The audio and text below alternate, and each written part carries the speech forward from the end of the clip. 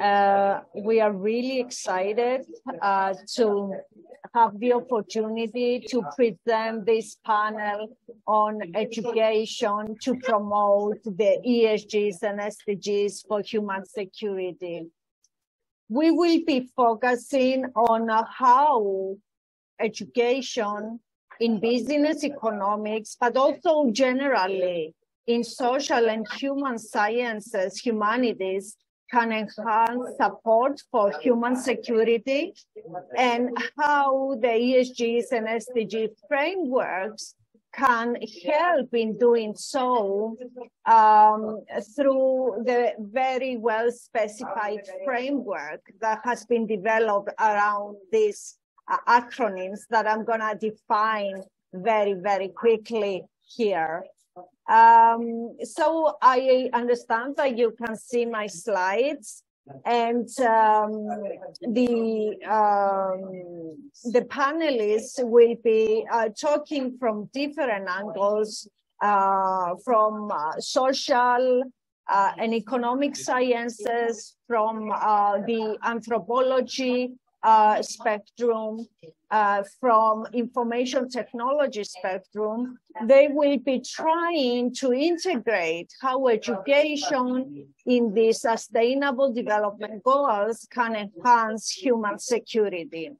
And I think this is very important uh, because the UN uh, Sustainable Development Goals, UN Agenda 2030, is our only common vision together with the Charter of uh, Human Rights of the UN.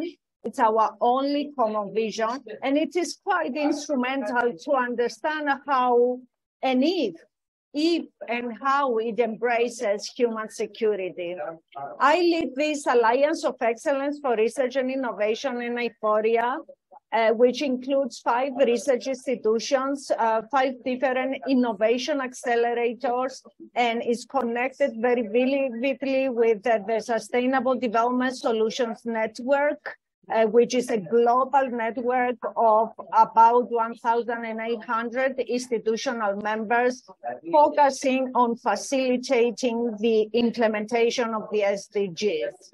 So uh, the, the, speakers in these sessions are in, in different ways affiliated with the Alliance of Excellence for Research and Innovation, and they are renowned uh, scientists in their uh, fields. So the big crucial question is how are we going to transition ourselves from the multi-crisis uh, towards sustainability, towards the SDGs, towards the 17 sustainable development goals, which basically integrate uh, all aspects of interplay between the society, nature, and the economy. We want to face pandemics, economic recession, inflationary pressures, climate change, biodiversity collapse, uh, geopolitical insecurity, energy prices, food insecurity, population growth, increasing inequality. And we have to face them all in a very um, efficient, but also simultaneous way. Is that at all possible?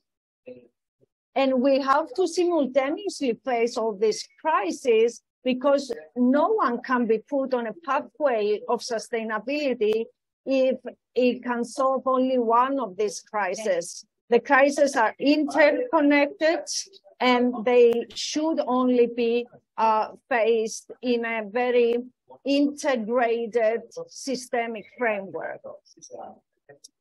What I'm going to be arguing in this um, session and in my very brief introduction is that um, human security is fully integrated in the Sustainable Development Goals framework and in order to be able to identify solutions, technological, financial, policy solutions for uh, implementing human security goals within the sustainable development goals, you need to have a very sharp framework in which you can measure the SDGs in terms of the performance of each and every nation, region, um, a town, municipality, company, institution, you need to be able to measure the implementation performance of all these different units that make up our socioeconomic framework. As we know, human security encompasses uh, human rights, good governance, access to education, healthcare, and it aims at securing that each individual has opportunities and choices to fulfill his or her potential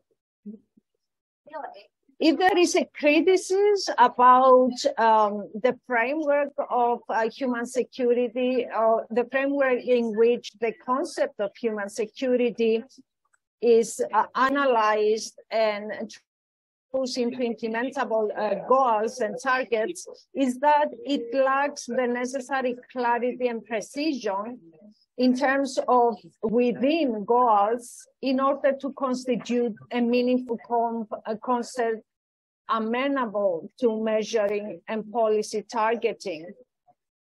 So for me, in order to transpose wishes and vision into implementation, you need to have clarity in terms of where you want to go, where you are today, and what are the means of reaching your future vision together with a very explicit framework of measuring, assessing, and monitoring the progress. Human security has aspects of economic security, food security, health security, environmental security, personal security, community security, political security.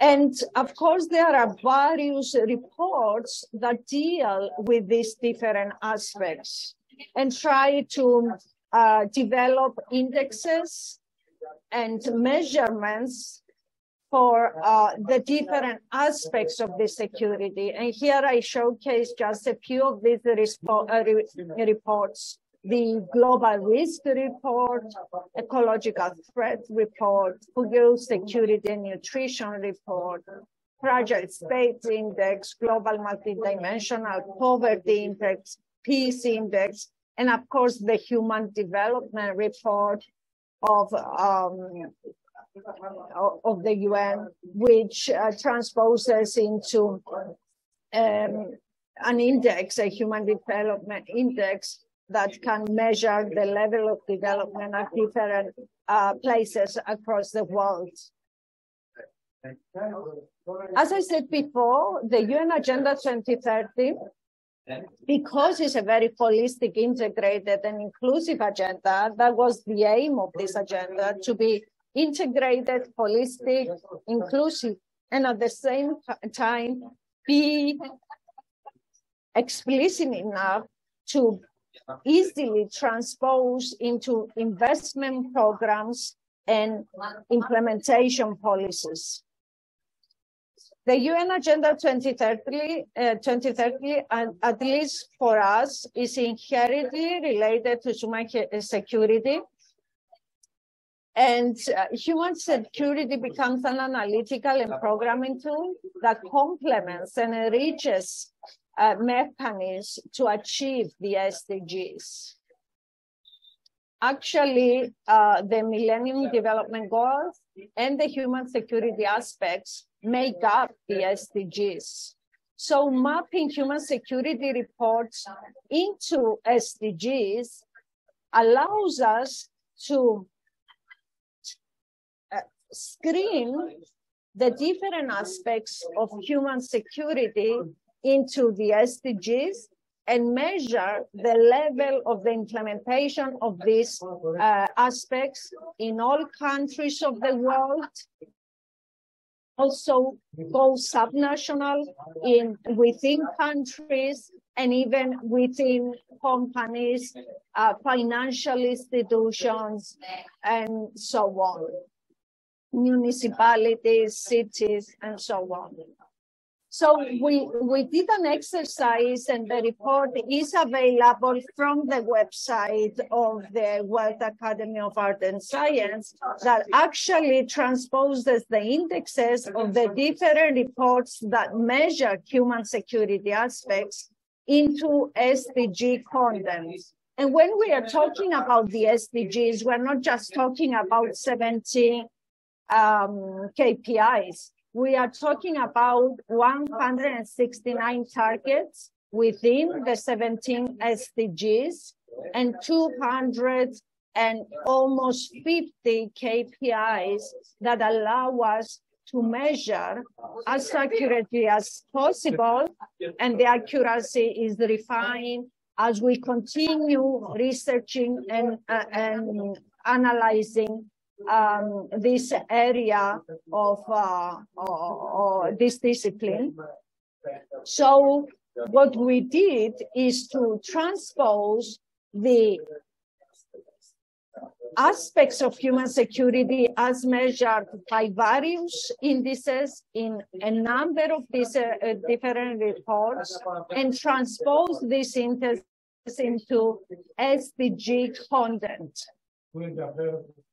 This is important because uh, the performance of each and every country with regards to the SDGs is measured every year since the launch of the SDGs 2015 in the Sustainable Development Report that we uh, publish every year as United Nations Sustainable Development Solutions Network that measures for each country the 17 SDGs, the 169 uh, targets implementation level using more than uh, 200 KPIs. And it is this measurement that allows us to know where we are and where we want to go and give us the opportunity to scientifically develop the pathways, the optimal mixture of policies and technologies and finances that will produce the solutions that will get us from where we are now to where we're going to go in 2030. As economists, uh, we do a lot of relevant work However, I want to, before showcase some of the work, and maybe I will do it after my co-speakers uh, come in and give their own ideas. But the good news for me is that the although the progress with regards to SDGs has been slowed down, has been reverted in 2021 and 2022 during the pandemic, and we know that there is a huge funding gap for, for the SDGs to be implemented of about 10 to 14 trillion US dollars across the world. We need see a lot of significant progress. In terms of policy implementation, I just uh, put two maps, uh, the uh, world map with regards to pledges for net zero, where net zero has been achieved, and when it has been promised as the final output by given deadlines. And here we have a variation between 2030 and 2070 but at least we have this unprecedented um, frequency of pledges. And in places like Europe, for example, we have a very detailed policy uh, um, framework that really incentivizes and provides the means, methods, and solutions and the financial instruments and also the financial in incentives and awareness and investments in education in order to really implement the targets. And we have the same for the digital transition. This is the content with regards to digital transition in terms of human capital, connectivity, integration of digital technology, digital public services in Europe, but also across the globe. So the green and digital transition has started. It needs to be empowered. And of course, in order to empower transitions, you need the technology, but the technology is the outcome of research, and research is the outcome of education. You need the policies, but the correct mixture of policies is based on really deep knowledge of the existing situation, but also a mixture of expertise is needed in terms of uh, economics, social aspects, technological aspects, and so on, in order to design the right policies. And of course, this has a very um, vivid and hard education element.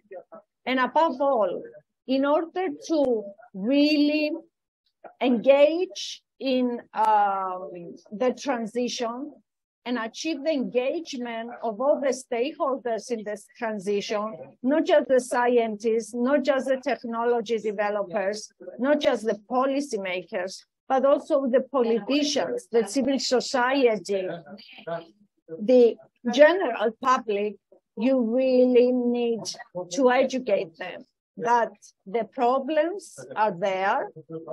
They should understand the problems. They should understand the solutions exist. They should be given the opportunity to be educated in using the solutions and be upskilled and reskilled in order to be a real part, a real um, participant in this transition. And of course, all this awareness building, upskilling and reskilling is part of education. And if we want to go back to the basics, we also need to go to all the grades of our education system, the uh, uh primary, secondary education, university education, and understand what is the cutting edge technologies that we need to know about, but most of all, how these interdisciplinary systemic frameworks are going to be the frameworks in which we shape our lives. So we need to stop working uh, within the silos of individual disciplines and individual institutions and start being uh, educated in interdisciplinary understanding, interdisciplinary research, interdisciplinary technological outcomes. I will stop here and we'll come back with some of the work that we do on ESGs and SDGs education for companies and for uh, professionals, but also students. And I would uh, like to uh, give the floor uh, to our next speaker. Um, I would like to ask uh, Pavlos uh, Kavouras uh, to come in. He's an anthropologist. Um, he does exciting work. Uh, he's now a professor at uh, the National and Kapodistrian University of Athens. We work closely and I'm very proud of that. And at the same time, he's uh, UNESCO chair. He will introduce the uh, different hats that he wears. Uh, Pavlo, please. Thank you, Phoebe. And um, thanks for inviting me to this wonderful uh, panel. And it's an opportunity also for me uh, to um, discuss issues of my expertise um, alongside with uh, people who have different uh, um, experiences and uh, and um, knowledge. So, as an anthropologist, as you said, uh, it seems to me that both acronyms, ESG and uh, SDG, um, we all know that they stand for the environment, the society, governance, and the SDGs are something like 17 of them, covering many aspects of uh, social and uh, cultural life, and not only social and cultural life. Um, so the first one, ESG, is a rating system, whereas the SDGs is um, they, uh, they, they refer to global goals concerning humanity set by the UN. What interests me in this regard is that all of these issues, all of these concepts are uh, bread and butter for anthropology. That is, we deal with all of them in different sectors of anthropology. There is an accumulated knowledge in all the areas like environmental anthropology, social anthropology, political anthropology, economic anthropology, with the journals and conferences and the like. Why am I saying this? Because I think that in discussions of this kind, uh, it would be interesting to have, like you have done, an anthropologist uh, in your group talking about ESGs and SDGs. But although anthropologists provide knowledge that is always derived from a meticulous study of particular societies and in specific time space uh, contexts, I would say, I would ask the rhetorical question is anthropology enough even the anthropology that brings in difference, different views of the world, actually lived and experienced in empirical ways that are very difficult to be measured? I would say, I would rush to say, no, it is necessary, but not a sufficient um, approach to studying or understanding humanity namely the anthropological approach as we know it. Recently, fairly recently, physical anthropology, which is the anthropology which studies human beings as physical entities, as biological entities, uh, has told us that we, modern humans, are the descendants of a subspecies that uh, is called Homo sapiens sapiens. Why is this important? Because the double sapiens there uh, introduces a capacity uh, in this uh, species to reflect over reflecting, to experience over experiencing, to be conscious of his her own consciousness you understand that this capacity is very important and it's the fundamental biological, anthropological um, quality that has allowed humanity to have choice. And choice is important because choice, you mentioned, Phoebe, before about the freedom from want and the freedom from fear being the fundamental aspects of human security. Yes, freedom, freedom is a quintessential aspect of uh, a, any humanistic approach. But freedom, in what sense? There has to be choice towards freedom. If you deprive humanity from choice, then there is no freedom at all. It's only instinct and it's only um, a predetermined stance in life. So this choice has given us the ability to self-reflect. Self-reflexivity is very important for humanity. Why? Because we have this tendency to um, focus on our activities, emotions, uh, rationalities, memories, whatever constitutes us as human beings, from the point of view of a dominating ego consciousness. don't think that this is um, this is only an aspect uh, interesting to anthropologists, psychologists, and uh, uh, similar scientists because it dominates, it saturates our everyday life. All the SDGs could be approached from a such uh, viewpoint, namely the viewpoint of self-reflexivity, the viewpoint of, uh, of choice, the viewpoint, if you like, of ego awareness. Why is this important? Because with ego comes this fundamental urge and quality to survive. Why survival is very important when we are talking about security? Because around the issue of survival, egos that is individuals, that is societies, that is conglomerates of societies, uh, nations, countries, they, uh, they stick together, they organize in order to promote their interests. Companies, they do so also. They are saturated by the interest to make money and maximize their profits. So there is ego behind everything we do.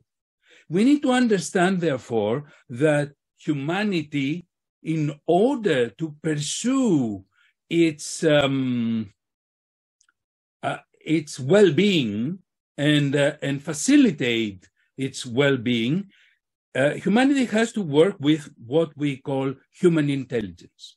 Human intelligence cannot be reduced to reason and rationalizing. It cannot be reduced to memory although both of these uh, dimensions are important, very important. It has to develop human intelligence in order to, in order to uh, appear, appear, emerge in its full sense, it has to appear as self-awareness. It has to appear as consciousness of consciousness of economic consciousness, of political consciousness, a meta consciousness, if you like. We cannot have successful implementation of SDGs unless we establish a new approach of coping with consciousness about the specific particular consciousnesses as expressed by the SDGs. So um, I would say, and I will close here, that in my areas of expertise, which is the arts, music and the performing arts, culture in various uh, aspects, and education, of course, being a professor at the university, I have explored the different ways, not of an towards an interdisciplinary approach, but towards a transdisciplinary perspective, meaning that uh, what interests me is not only the stitching together, if you like, exploring the epistemology of how to cope with different methodologies. That's what uh, interdisciplinary agents do. But to focus on a new tool, a new framework, a higher aspect of intelligence that implies our learning, our, if you like, uh, opening to the capacity of, of, of reflecting on our reflections. This is not a mere philosophical, stochastic uh, endeavor. This is an approach, in my view, that could contribute greatly to promoting uh, well-being, the well-being of humanity. And uh, it is in this sense that I see a contribution of a humanistic approach, an anthropological approach to panels or to groups like the like the ones that you are um, that you are heading and and working with, Phoebe, and um, contribute towards moving from performances of otherness, which usually they hide I-ness, ego-ness. We always talk about others, in a sense, hiding, you know, um, masquerading even our interests and intentions. So move from the performance of otherness to othering performance itself. By othering here, I mean I-ness should come to the fore. You should teach our, our students. We should uh, talk about these issues to people who are, who are open and could be enlightened with a new paradigm of thinking. Thanks. Thank you so much, Pavlos. It's always such a pleasure listening to you. You said we need human intelligence. Reason and memory is not enough. Self-awareness is needed and should be defined, It should be in our minds as a meta-consciousness with the different aspects of self-consciousness and other consciousness that we need to integrate. And I, I truly um, understand what you are um, uh, what you are promoting here. Uh, given that uh, my my team works also works in um, experimental um, experimental economics and sociology, and we also work with uh, neuroscientists. And it seems that the the classic paradigm of economics of the rational agent uh, is not the relevant one in many cases, and especially in cases that are quite realistic that integrate uncertainty and ambiguity. So we need uh, to come to terms as economists with the fact that uh, human beings are something much more than reason and memory. And uh, uh, what uh, the anthropologists have to offer in this, together with the psychologists, I think is uh, very valuable. And, and without that, we cannot really engage the, the, the, the, the society as a whole, the economy and the society as a whole into SDGs understanding and implementation. So it, it, it's really crucial to bring all these elements into our design of um, instruments, policies, investment plans, education, and social support in order to achieve the SDGs. Thank, thank you very much uh, for your very interesting intervention. What is your UNESCO uh, chair? Can you please repeat your UNESCO chair? Yeah, the, it is titled Anthropology of Traditional Music, Holland, representing and repositioning intangible cultural heritage the intangible is always the, the most interesting part of all the elements and for us economists as well trying we to are, we are also kind of we are also kind of dropping the term intangible for living heritage because for instance music is usually qualified as intangible but it has tangible aspects also. Aspects yeah, yeah, yeah, yeah, yeah. And it's the same for economic uh, services and goods. Some of their elements are tangible and some others are completely intangible and outside market. So it's very intriguing.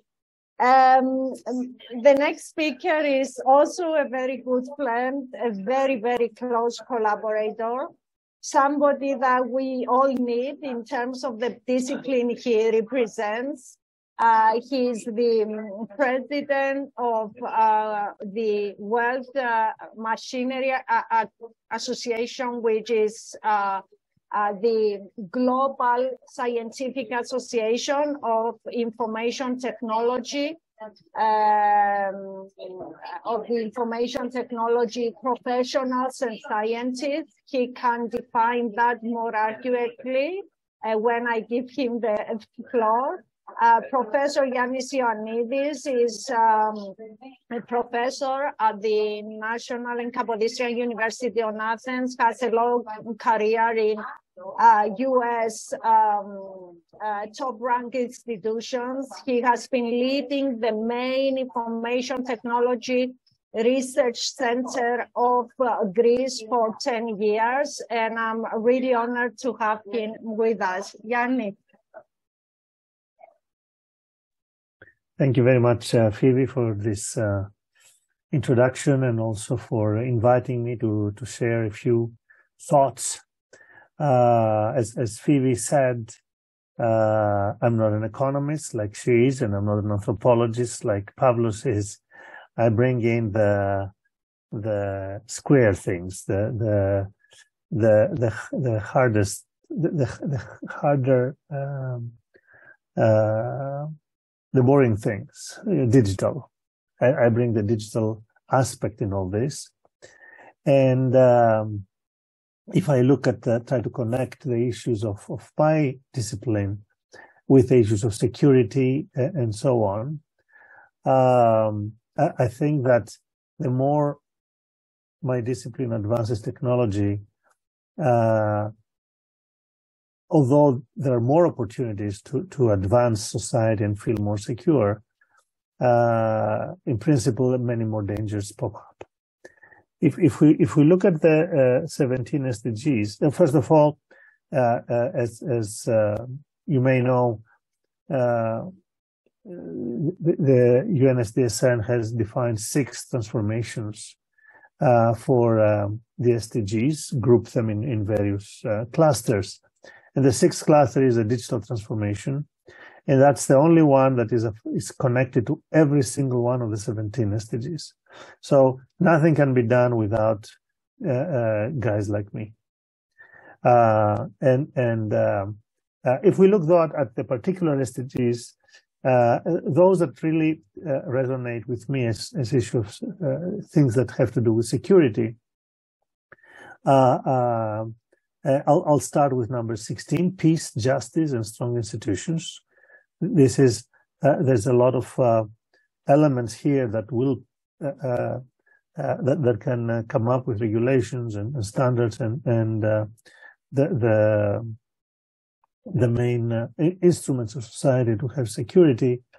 And, and of course, decent work. Number eight decent work and economic growth. Economic growth is something that that uh, Phoebe talked about and and uh, is an expert, but decent work is, is a different thing. And then I could talk about good health or gender equality and so on and so forth. These are those that really affect our sense of security. I won't go into the department of, of Pavlos, uh, uh, but our sense of security depends tremendously and intimately uh, uh, through aspects of, of this. And technology, as I said, uh, with its tremendous advances the past few years, the, the tremendous speeds in which it can compute things and the, the tremendous data it can amass and then use to compute, generate more, more data and so on and so forth, put in, in danger tremendous elements of our security, our sense of security. Our privacy may be jeopardized because our, our data can be transferred uh, either maliciously or by accident or uh, even on purpose. I mean, all the young generation, you know, spills their guts in, in, in on Facebook and Instagram and, and uh, Snapchat and so on and so forth. And, and after a few years, they say, Oh, I, I did this. How did you learn that? I, I wouldn't want the world to know it. And, and, but the person herself or himself had, has done this. Um, let alone the malicious things or the, uh, uh the, uh, uh, the, the selling of private information uh, without the proper consent and so on and so forth. Um, and uh, then, of course, there are other aspects of security uh, where uh, um, work is in danger because of the tremendous advancements of of, of computing technology and robotics and so on and so forth. many, many words, including computing uh, computing professionals work works are in danger. So how can we have work security and safety? Uh, what should society do? Uh, how we can achieve uh, um, SDG number eight um, uh, uh, while facing the tremendous, innovative, exciting advances of technology that put work in danger. And, and this, uh, uh, many, many disciplines to come and think about this. Of course, not just us technologists, but definitely economists, definitely politicians, policymakers, definitely sociologists, psychologists, and anthropologists uh, um, to come together and see how society should achieve this. And um, uh, to bring in uh, the educational aspect, which is a, a major issue uh, uh, of, of this um, of this meeting, uh, for for all of these disciplines and, and, and for the communities of all these disciplines, these are uncharted territory. These issues that we are facing, we haven't seen in the past. Yes, you know, the first industrial revolution, some jobs were some jobs were lost and so on and so forth. But uh, nothing at the scale that is happening now. So also the second and third uh, industrial revolution. Now we're in the fourth industrial revolution. Uh, we have machines, you know, use them to write. I mean, everyone has heard of the uh, uh, ChatGPT that came out December 1st. And uh, you ask it to write a poem in the style of uh, Lord Byron, and it comes back with a half decent poem. I mean, it's not Byron stuff, of course, uh, uh, but uh, it comes with half a decent thing that is reminiscent of Byron. And then you ask it to write a piece of code that will do this. And whereas the programmer would need, you know, a, week or two or a month to do it, then in a few seconds you get a program that most often it works and it does what you asked for it.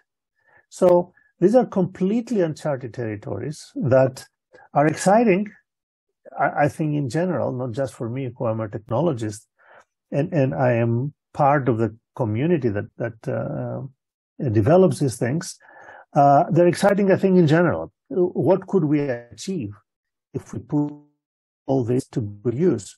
But also, uh, with this dangers, and us technologists cannot be just playing uh, uh, happily with, with our uh, uh, within in our sandbox and, and uh, creating great castles because the impact to society is tremendous, and and um, humanity is, is not ready for it. So how can we work on this together? Educate ourselves. As technologists, we have to work with, as I said, other other uh, disciplines and ethicists, by the way, philosophers, uh, uh, uh, uh, we need to have them there to to uh, to identify pathways of thought that is very uncommon for us technologies and and for many other disciplines. so we can find the right path and and lead um, society to to the right place. Uh, where we get the good and, and we avoid the bad. Um, and uh, I talked about educating the scientists, but also society needs to be educated um, at the lowest level, uh, at the university level, but also high school.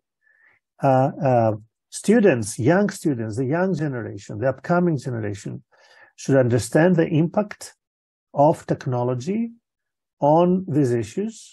I mean, connecting technology with the SDGs is, is a given in my mind, and we should be doing it uh, as much as we can in whatever ways we can, but also addressing specifically the dangers of the fourth industrial revolution uh, uh, and, and what it can, uh, uh, how it can uh, jeopardize our, our, security and safety is something that we should focus more.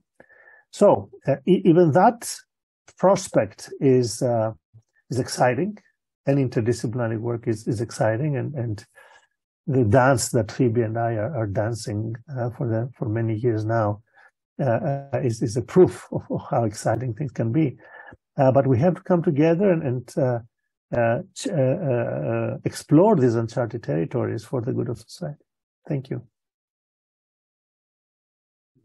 Uh, thank you, Yannis. With um, we work on the SDSN Global Climate Hub, and our dream and also Pavlos is part of the Climate Hub.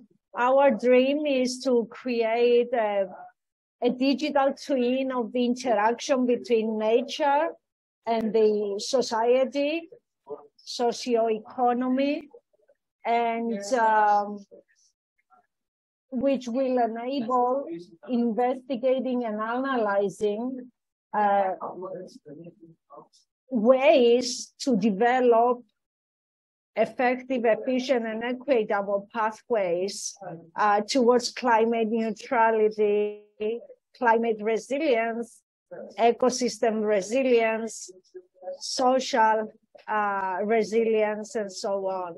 Uh, so the the the vision is big. More than 50 researchers across the world are engaged in this um, vision, and we hope that more from you that are listening will also uh, integrate with us. And definitely, technology and information technology is one very, very crucial aspect in all stages of the implementation of this vision, from data collection um, to uh, data gathering from satellites and in situ infrastructure to analyzing data to using machine learning and AI uh, uh, to um, uh, further uh, analyze and collect and develop.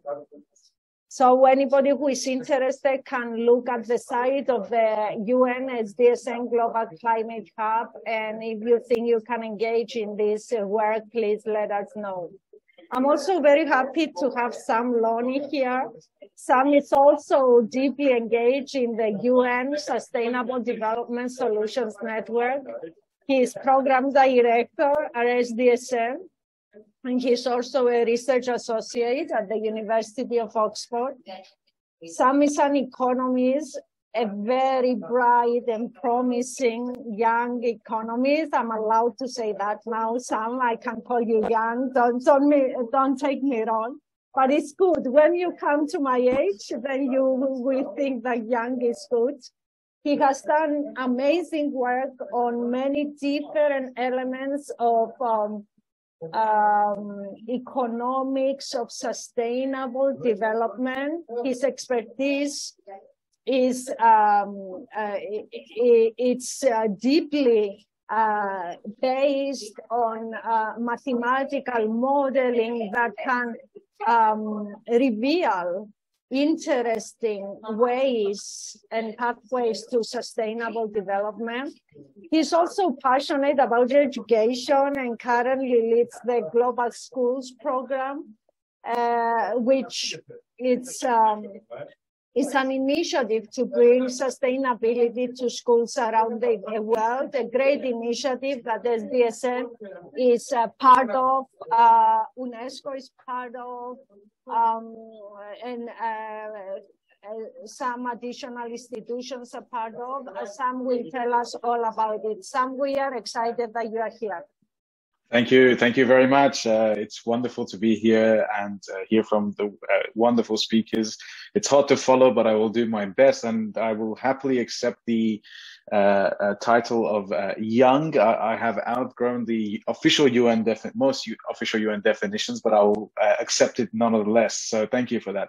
Um, so I, today, I would like to talk uh, briefly about sustainable development and its uh, importance um, and the role of education in, in helping accelerate sustainable development. Um, uh, when we talk about sustainable development, and I have heard this quite often, uh, you know, at different UN meetings, um, looking through different documents from the UN, and, and uh, it's, it's a common phrase where they talk about it as a transformative agenda uh, whether that's direct reference to the 2030 agenda or the Paris Climate Accords uh, or any other uh, uh related treaty or document. Um, and I think that's true uh, when you are completely shifting the uh, structure of a society, especially through the goals that have been designed. You you are essentially talking about the societal transformation. But often the solutions proposed for achieving this social uh, societal transformation is um, is not one where I think it, it will necessarily achieve uh, the ambitions that we're speak the level of ambition that we're speaking about. Um, so I think actually education is a key enabler of this. So you know when we want to achieve a complete social transformation. Um, education has always played a significant role, and that's because it sh- shifts the baseline. Uh, it shifts the baseline in, in, in values and skills and behaviors and enables really that long-term transformation to take place. It is also a very important uh, predictor of uh, social development, you know, from economic growth to uh, human development and to uh, social progress. So it is an extremely powerful tool for social transformation, which I think is what is needed for us to sh- shift from a uh, fossil fuel based and extractive system to one uh, that is um, sustainable, but also inclusive and uh, uh, actually a more egalitarian and more equal society. So it does require that that, that social transformation that, that we talk about. But I do think that at the moment the policies are not there, and, and this is why I think education is a very important enabler. And uh, in my mind, for, for, sustainable development, you need a different type of education, and this type of education is called uh, education for sustainable development, or in um, uh, in terms of its acronyms ESD. Uh, and uh, a lot of people talk about the importance of, uh, of ESD, uh, but actually in practice, it's important to understand uh, what uh, what that means. Um, ESD is essentially about giving individuals and students the the values, the skills, the attitudes to be able to shape sustainable societies and to be uh, actually be able to uh, deal with complexities and the shocks uh, that may uh, arise in the future, but actually be able to um, uh, have the skills to thrive in a future economy and, and shape their societies in a way that that will enable them to be resilient in the face of those challenges. Um, and for this, again, you need to shift that baseline. And, uh, you know, contrary to popular belief, where a lot of uh, policymakers talk about the long-term uh, effects of uh, education, which are where you will see the, the, the, the, the, the biggest outcomes, there are actually some immediate effects that are often uh, neglected or not measured. And that is that you see significant spillovers with one or two uh, lessons uh, focused on ESD, uh, basically the, the effect it has on parents, on the community, on the teachers, and uh, these uh, are starting to be very, they're starting to be documented in the literature, which I think is very important. And but the question is, okay, um, ESD is about social transformation, so why should ministries of education, ministry of, ministries of education around the world care about this? Because the mandate of the Ministry of Education is actually to um, uh, you know enhance educational outcomes. Why should they care about uh, ESD? Um, that's because actually ESD is a win-win both for uh, education and for society. And what do I mean by that? Uh, there is a Stanford review um, of, uh, I think it's about 120 different studies on uh, environmental and climate education, and and obviously it shows that it uh, you know when you when you uh, implement these types of uh, this type of education, it has an effect on the social and environmental behaviors of students and the community and the parents, but actually also shows that it improves educational outcomes you see uh, more engagement from the students. Students ask more, more questions, for instance.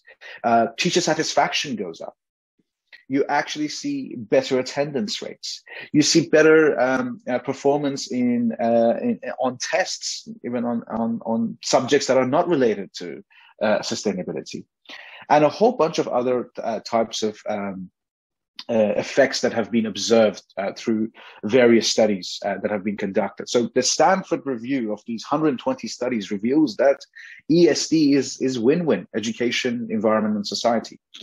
But the question is, if it's win-win, why, why are we not seeing more of it? Um, there are UNESCO studies that have analyzed curricula around the world and see that it is very few, very few references to sustainable development in the curriculum or in educational policy. And uh, in terms of implemented um, educate um, uh, curriculum, and actually basically how much of what is mentioned in the policy gets into the classroom, there is even less. So we we are we have a, uh, a global cohort of primary and secondary school students who are not getting the necessary training to thrive in the 21st century and we're not giving them the necessary training to actually be able to shape the sustainable societies that we want and i think we have a responsibility to change that uh, as the current generation so why are we not seeing more of this? And I think the reason is because this is a new field. Uh, the benefits until recently haven't been clear. Uh, it takes a very long time to shift, um, um, uh, you know, the curriculum within countries, and it is a very contested space, and everyone wants to put things into the curriculum. So it is a deeply complex area um, and change is very slow at the curriculum level. Uh, but what we have found is that there is a huge appetite around the world uh, for ESD among, especially among teachers. And so we are using a, a model, a train the trainer model with global schools, which is uh, the, the program that uh, I founded, which is uh, really built on how do we get sustainability into classrooms and into uh, schools around the world. And the way we do that is we identify teachers we train them online, we give them the tools and resources, and we allow them to localize ESD where it can have the greatest impact. And then we um, observe their actions and we support them as they try to get the rest of the school on board. And we have found this model to be extremely effective. And uh, we have gathered a lot of data on it, both quant- uh, quantitative data as well as qualitative data, which shows that actually just by training one teacher, you can bring 20 other teachers on board. And more importantly, you can actually have a massive amplified effect down the line. So you, we, through this model, we are really planting the seeds um, by just uh, using specific teachers, and, and and and I think the next step for us is to scale up this effort. But I do hope that ESD and um, education uh, for climate and and uh, uh global citizenship get uh, a, more attention uh, within uh, within the policy circles because while our efforts are important, uh, it needs to be supported also by policy in order to be scaled up effectively. And with that, I thank you. And if you have any questions, I'll be more than happy to answer. Thank you very much, Sam. Uh, yes, we, we need to give the needed training for being able to form the sustainable societies we envision and um, we need to upscale initiatives like the global schools that train the trainers that are in direct contact with all those that need to be educated. Uh, the SDSN Europe that I lead is um, engaged in an initiative that measures SDG engagement in universities across the world.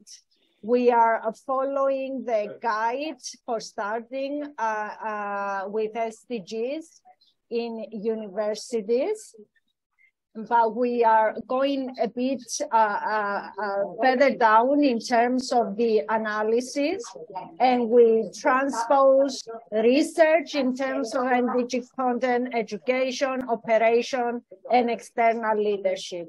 This is again in the same spirit of if you cannot measure it, you cannot manage it, you cannot improve it.